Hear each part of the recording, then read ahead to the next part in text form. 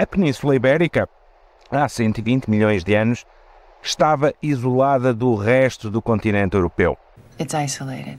Era como se fosse uma jangada de pedra, tal como refere a José Saramago em título homónimo. A Península Ibérica tem a forma de uma jangada. Anónimo português. Essa jangada de pedra uh, estava isolada, como disse, do resto do continente europeu e estava sujeita a várias forças tectónicas que se exerciam durante uh, o Cretácico Inferior. Porquê é que eu falo do Cretácico Inferior? Porque estas rochas atrás de mim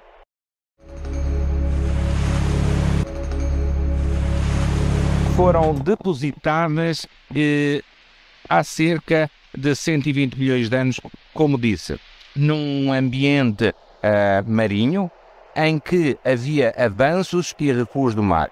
During the Cretaceous period, these plains were the floor of a huge inland sea. Como é que era o ambiente há 120 milhões de anos em termos globais e na Península Ibérica? Nós vivíamos, nós, eh, se vivêssemos nessa altura, teríamos um clima bastante mais quente do atual. A este da Península Ibérica, nós teríamos um grande uh, oceano, o Tétis, que seria bastante quente e que traria, contribuiria com a ajuda dos ventos para grandes uh, massas de ar quente que se deslocariam para este, passando pela Península Ibérica.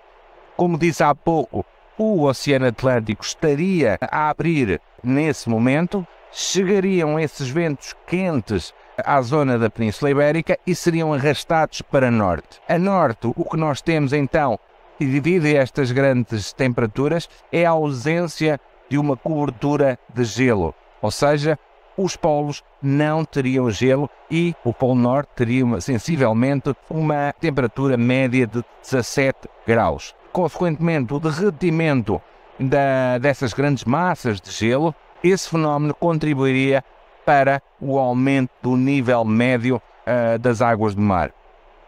Estes sedimentos que vocês aqui veem são consequência de vários avanços e recuos que o mar no Cretácico Inferior sofreu e que deixou registados por intermédio destes sedimentos de várias cores e várias características esses tais momentos de avanços e recuos.